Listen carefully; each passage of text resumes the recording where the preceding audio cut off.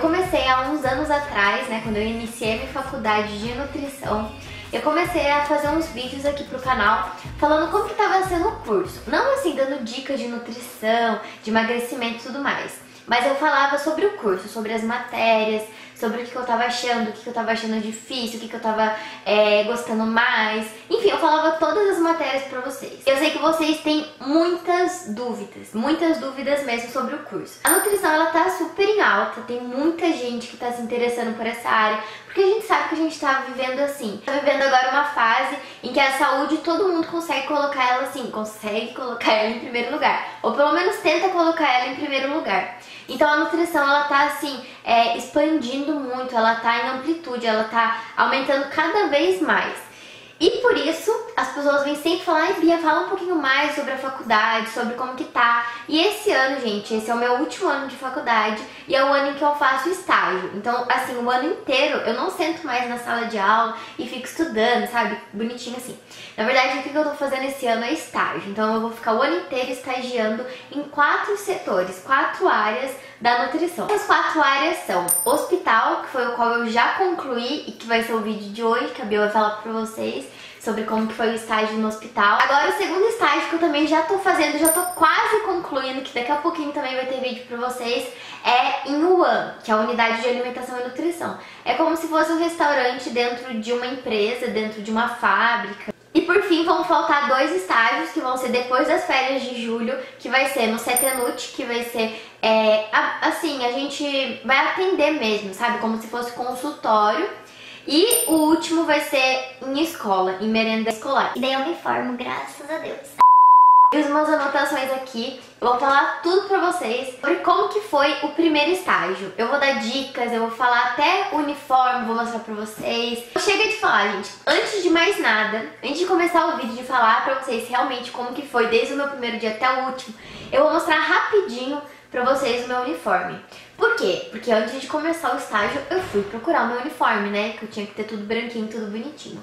É obrigatório, tudo dos pés à cabeça, tudo branco tá, gente? Então eu comprei jaleco, eu comprei blusinhas, calça e sapatilha. O meu estágio, pelo menos no hospital que eu fiz, o sapato tinha que ser sapatilha. Tem lugares que o sapato tem que ser mais fechadinho, enfim, isso daí varia muito de é, lugar para lugar, tá bom? Meu estágio é, ele foi no Hospital Universitário de Taubaté, então é da, da universidade mesmo, o hospital que eu, que eu estudei. E seguinte, gente, ó, vou mostrar pra vocês qual que foi o uniforme que a Bia comprou. Eu não comprei muita coisa, tá? Eu também não trouxe tudo aqui, porque senão eu ia ficar uma pilha de roupa branca aqui na minha mão. então, o que que eu comprei? Calça normal, assim. Ah, normal não, gente. Eu escolhi comprar calça de lycra porque de lycra ela é mais gostosa, sabe? Tipo, ela fica mais confortável, porque você vai ficar andando no hospital. Amanhã eu estagiei durante 6 horas, é, eu entrava às 7 e ficava até 1 e meia da tarde.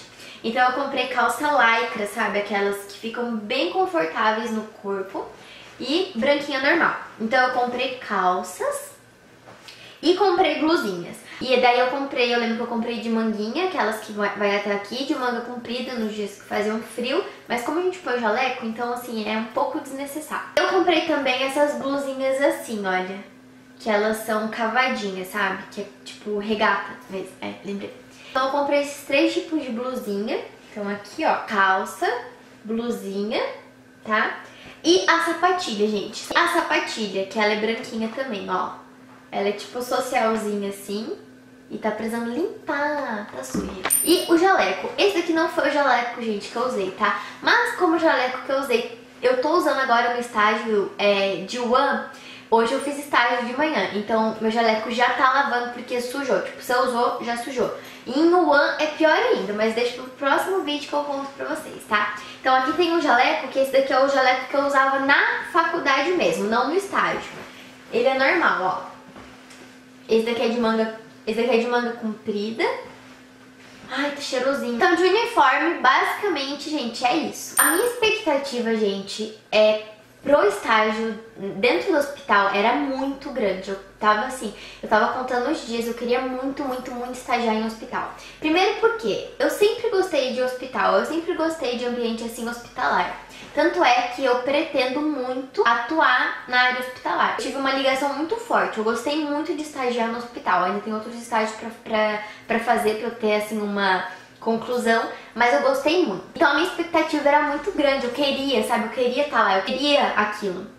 Eu acho que isso me ajudou muito, porque a gente sabe que o hospital é um ambiente pesado, não vai ser um ambiente onde você vai ver todo mundo sorrindo, todo mundo bem. É um, um ambiente onde tem muito, muita dor, tem muito sofrimento, tem perdas, tem coisas assim que são difíceis de se lidar. Então, eu acho que assim, primeiro de tudo, você tem que é, antes de você começar o seu estágio, você tem que ter um psicológico muito bom. Pra saber que o que você vai encarar não vai ser difícil, mas que você tá ali pra poder fazer o seu melhor. Aconteceu sim de, assim, é, no meio dos meus atendimentos, paciente morrer. É, um dia você tá atendendo, ele tá super bem, no dia seguinte morreu. Então, assim, é algo que é complicado, não é fácil de lidar. Mas é algo que você tem que aprender a lidar. Vai fazer parte da sua vida se você um dia decidir é, exercer a sua, a sua profissão dentro de um hospital. Vamos lá. Como que foi? O primeiro dia a professora explicou pra gente as regras, ela mostrou o hospital, tudo lindo, maravilhoso, ele era enorme. O hospital ele é dividido em várias alas, vamos dizer assim. Então tem ala da pediatria, é, maternidade 1, maternidade 2, tem três clínicas médicas, médica 1, 2 e 3, ginecologia, Hum, pediatria, eu já falei. A professora, ela fez a divisão, porque é, na minha turma de estágio eram 12 pessoas. E daí a professora dividiu em trio é, quem iria ficar em cada setor. E cada trio ficava com dois setores. Então a gente ficou com a médica 3, clínica médica 3 e com a maternidade. Eu queria muito, gente, eu pedi pro professor, professor, por favor, me deixe na maternidade, porque eu quero muito, é um ambiente que eu queria conhecer mesmo. Então eu fiquei nesses dois, tá? Feita essa divisão das clínicas médicas, aí começou a minha rotina. Depois que a gente conheceu todo o hospital, começou a rotina de todos os dias. Como que era essa rotina? Tem um passarinho cantando no meu vídeo. Como eu falei pra vocês, eu entrava todos os dias às sete e meia da manhã. Ah! Nossa senhora. Como era em trio, era eu e mais duas amigas, mais, é, mais duas pessoas, ficavam nós três. A gente chegava na sala e daí o representante da nossa sala, que na verdade é os aperfeiçoandos, eles ficavam é, encarregados de imprimir um mapa de cada clínica. Então, um mapa de pacientes mesmo. Então, eles imprimiam um mapa, eles, eles entregavam para cada trio e nesse mapa tinha quais pacientes estavam internados lá naquele dia.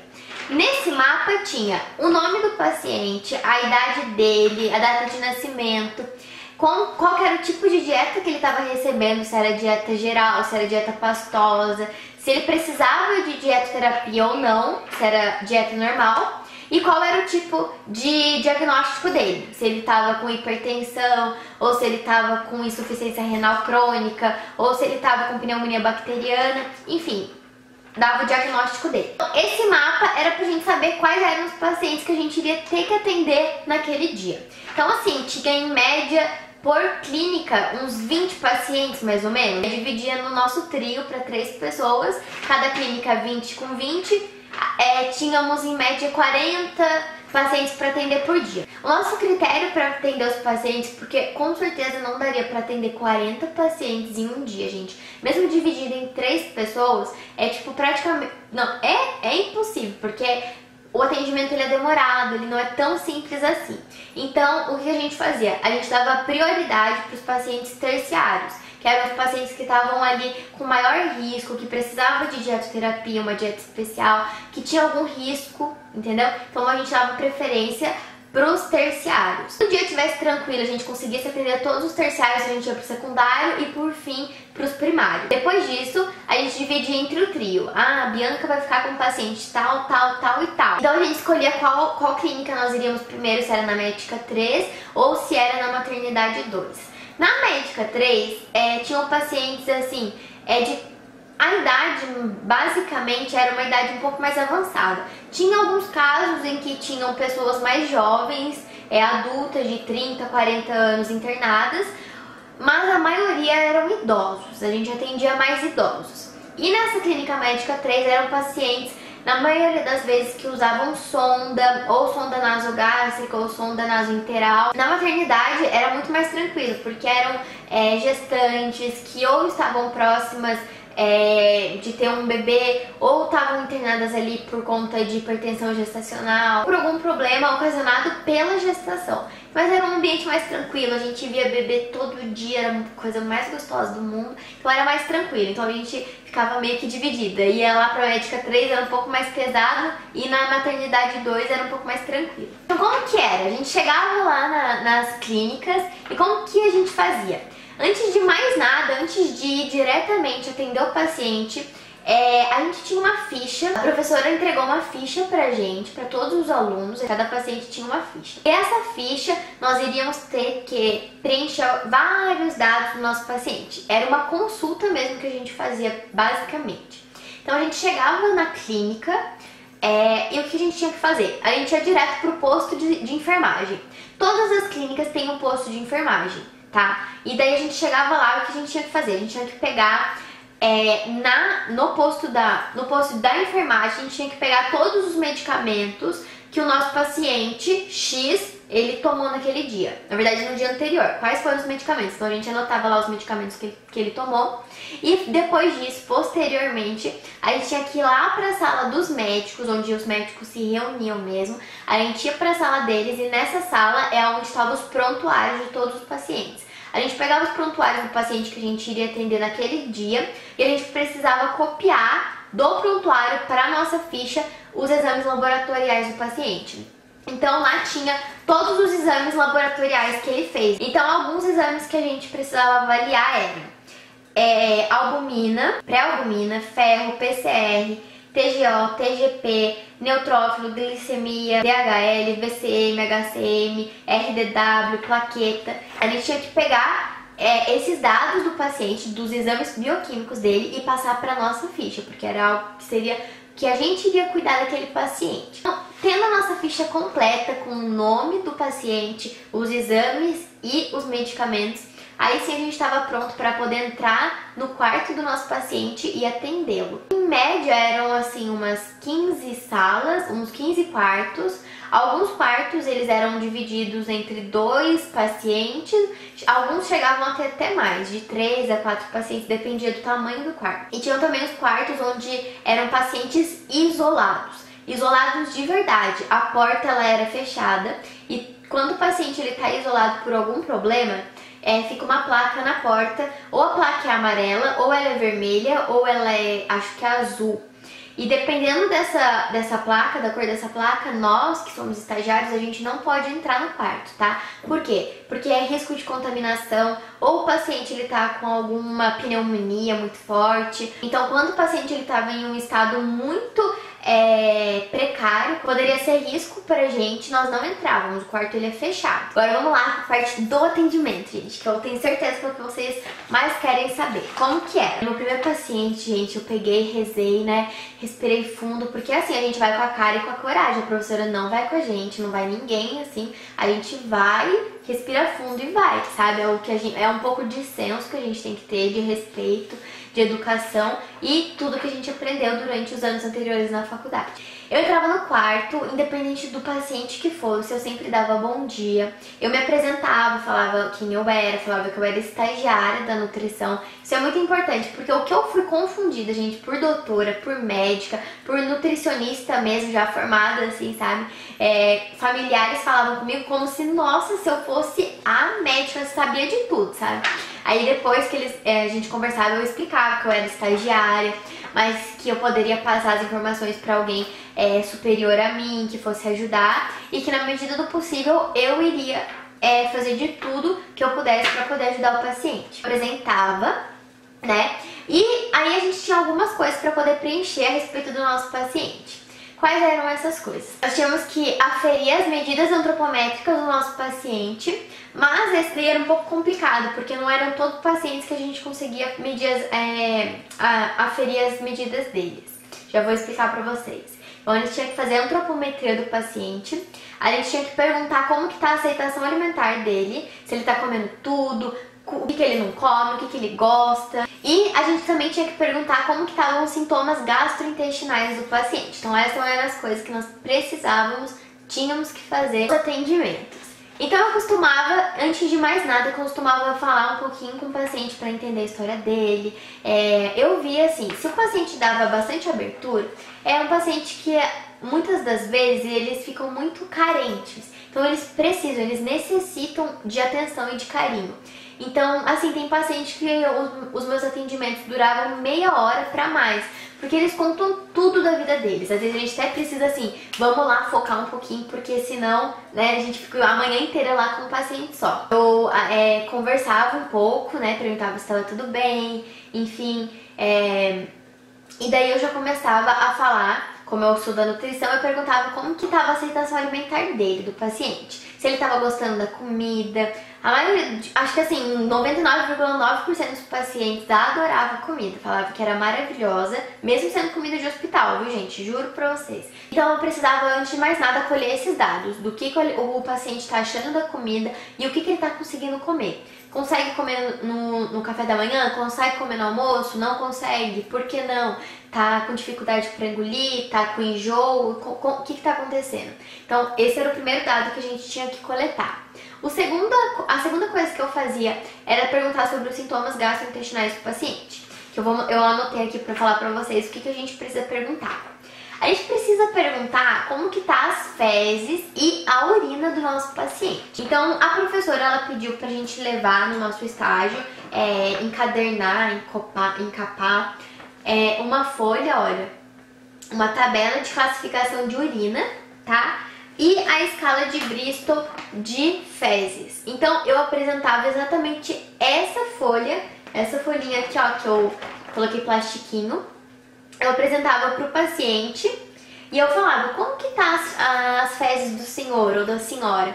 Ah, ela tá saindo normal. Mas normal como? O que, que é normal pra senhora? Aí eu apresentava para pro paciente, ó, essa tabela aqui, aí ele olhava o desenho e falava, ah, tá saindo assim minhas fezes. Aí eu ia lá e anotava. E a urina, a mesma coisa. Como que tá a urina da senhora? Ah, tá normal. Mas normal como, né? Como que é o normal? Às vezes eu pegava o paciente que falava que o normal era o mais escuro de todos. Ah, tá normal assim na cor 7. Tipo, a cor 7 é super escura, quer dizer desidratação, falta de água. Eu apresentava todos os dias para todos os pacientes essas duas fichas, tá? Aí, feito isso, eu perguntava pro paciente se tava com enjoo, se ele é, chegou a vomitar, se tava com a boca seca, se tinha refluxo, sabe? Quando você come, a comida fica voltando. E por fim, depois que eu fiz todas essas perguntas pro paciente, era a hora de fazer a antropometria. Todos os dias a gente tinha que levar pra faculdade, é, pro estágio, o adipômetro, que é um aparelhinho que eu vou deixar aqui pra vocês,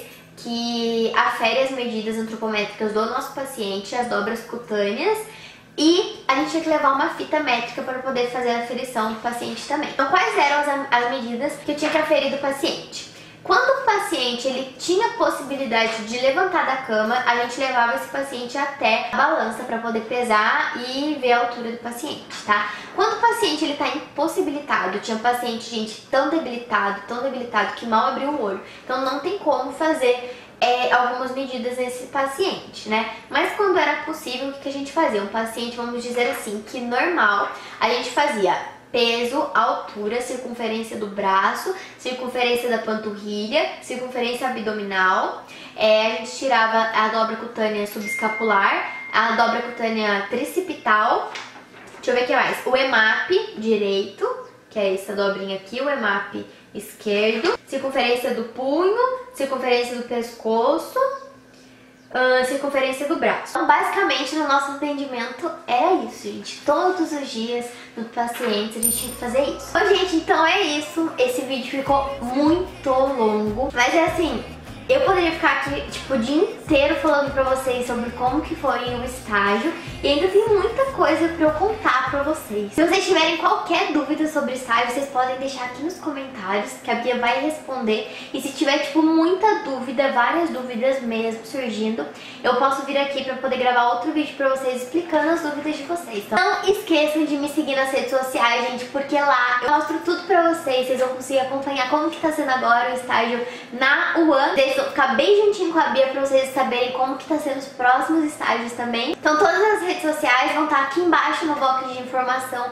Gente, eu espero muito que vocês tenham gostado desse vídeo. Não deixe de dar muito, muito, muito, muito joinha, porque se eu ver que vocês estão dando muito joinha, que vocês estão gostando desse assunto de nutrição, eu volto pra falar muito mais pra vocês. E seguinte, gente, sério, ó, juro, prometo pra vocês que eu não vou fazer um merchan agora, mas é, é algo assim. Pra vocês saberem o que, que vai ter aqui no canal. Chegou na minha casa uma caixinha, gente, olha só, super especial. O que, que tem aqui dentro? Essa caixinha, ela corresponde a um novo quadro que teremos aqui no canal, que é o seguinte. Vou mostrar só por cima, tá, gente? Porque de verdade, esse vídeo não é publicidade nenhuma, prometo pra vocês. Mas só pra vocês verem como a gente tá falando de nutrição, aí eu lembrei o que, que vai ter aqui no canal, que tem a ver com nutrição também, que é o seguinte. Uma marca uma marca me enviou produtos que é fórmulas, fórmulas, gente, maravilhosa. Era tudo que eu queria. São cápsulas que ajudam o nosso metabolismo ali a acelerar, pra gente perder aquela gordurinha que a gente tanto sabe, meu Deus do céu, que a gente não gosta, gente. Ó, eu só, vou, só mostrei isso pra vocês, que é uma prévia do que, que vai ter aqui no canal. Então vai ter sobre nutrição? Vai, muita coisa sobre nutrição, sobre emagrecimento. Eu vou mostrar tudo pra vocês, gente, exercício. Vai ter tudo aqui no canal, então se você ainda não é inscrito, corre se inscrever. Chega de falar que a Bia já falou demais. Espero que vocês tenham gostado. Deixa joinha, deixe seu comentário que você achou desse vídeo, dicas para os próximos vídeos também. Um beijo, fiquem com Deus e tchau!